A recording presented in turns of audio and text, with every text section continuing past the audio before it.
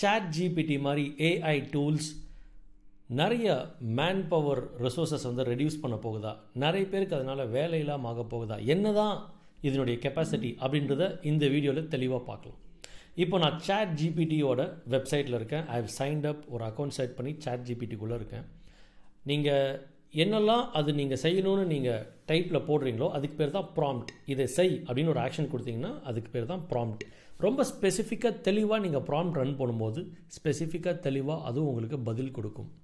For example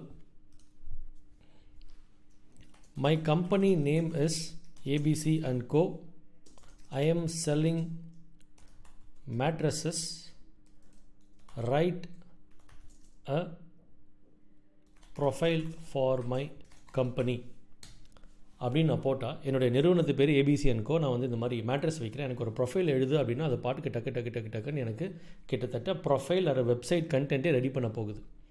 அதனால் content ரைட்டருக்கு வேலை போகுதுன்னு நான் சொல்ல மாட்டேன். இதை இந்த ஏஐ விட பெட்டராக எழுதுகிறாங்க இல்லையா? அவங்களுக்கு மார்க்கெட் வேறு லெவலில் இருக்க போகுது. ஆவரேஜாக ஏ கண்டென்ட்டுக்கு நான் சொல்ல வரல. பொதுவாக எந்த வேலையாக இருந்தாலும் ஆவரேஜாக நம்ம செஞ்சிட்ருக்கோம் அப்படின்னா இந்த மாதிரி ஏஐ டூல்ஸ் ஒரு பெரிய பேரை பார்த்தா கண்டிப்பாக இருக்க போகுது. But if you are smart அதாவது கிரியேட் ரெப்ளிகேட் அப்படின்னு சொல்லி சொல்லுவாங்க. புது புது விஷயங்களை அப்படியே க்ரியேட் பண்ணுறவங்களுக்கு மார்க்கெட்டில் வந்து எண்டே கிடையாது.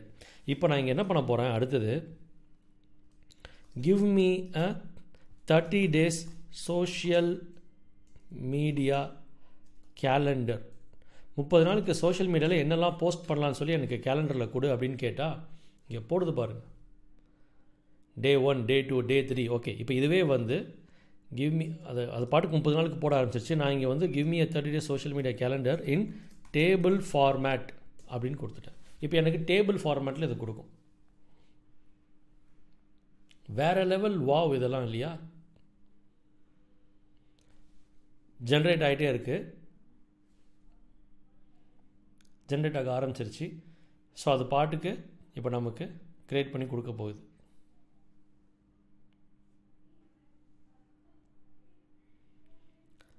Thirty day social media calendar வந்து டேபிள் ஃபார்மெட்டில் கொடுக்குறேன்னு சொல்லிச்சு. ஒவ்வொரு நாளும் நான் என்னென்ன போஸ்ட் பண்ணோம் அப்படின்னு சொல்லி அதுவாக எனக்கு இப்போது கான்டென்ட் கொடுக்க போகுது. இங்கே பாருங்கள் அல்டிமேட்டாக வர ஆரம்பிச்சிருச்சு. டே ஒன் ட்விட்டரில் மோட்டிவேஷன் போஸ்ட் போடுங்க. டே டூ இன்ஸ்டாகிராமில் பிஹைண்ட் த சீன்ஸ் பற்றி ஒரு ஃபோட்டோ ஃபோட்டோ அல்லது வீடியோ போடுங்க. டே த்ரீ ஃபேஸ்புக்கில் ஒரு ஹவு டு அப்படின்ற டாப்பிக்கில் ஹவு டு டூன்ற டாப்பிக்கில் ஒரு டுட்டோரியல் தான் போடுங்க. எப்படி? வேறு லெவலா இதை அழகாக அப்படியே காப்பி பண்ணி ஒரு வேர்ட் டாக்குமெண்ட்டில் போட்டு நான் பிரிண்ட் எடுத்துக்கலாம்.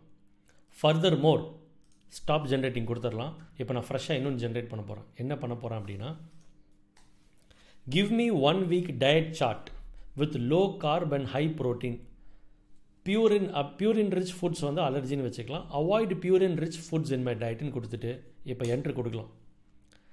டயட்டிஷியனாக இருக்கிறவங்க டெஃபினட்டாக நல்ல எதிர்காலம் இருக்குது பட் இந்த ஆர்டிஃபிஷியல் இன்டெலிஜென்ஸ் விட நம்ம ஸ்மார்ட்டராக இருக்கணும். எல்லாத்தையும் இதை நம்ம எல்லாத்தையும் தூக்கி சாப்பிட்ற போகுது.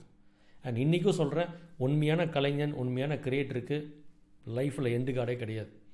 But you have to be really really smart இப்போ uh, கோ பைலட் அப்படின்னு இன்னொரு ஒரு வார்த்தை சொல்கிறாங்க ஏன்னா ஒரு கோடிங்கே எழுதணும் அப்படின்னா கூட இதை ஒரு சக விமானம் ஓட்டக்கூடிய ஒரு பைலட்டாட்ட இதை நம்ம பயன்படுத்திக்கலாம். நம்மளுடைய தோழர் மாதிரி ஆஃபீஸில் ஒர்க் பண்ணக்கூடிய நம்ம ஃப்ரெண்டு மாதிரி இதை நம்ம பயன்படுத்த முடியும். Because it's also going to help you with creating code even to build a software இப்போ எனக்கு அந்த டேபிள் ஃபார்மெட்டில் கூட நான் போட்டுட்டேன். இங்கே பாருங்கள் எப்படி பின்னுது ஸ்பீடு டே ஒன் பிரேக்ஃபாஸ்ட் நான் என்ன சாப்பிடணும்? Snack lunch snack dinner day two day three day four day five வேறு லெவலா இப்போ இதில் வந்து எனக்கு இந்தியன் விஷயங்க ஃபுட் தான் ஆட் பண்ணும். இல்லை ஸ்பைஸ் நிறையா இருக்கணும்.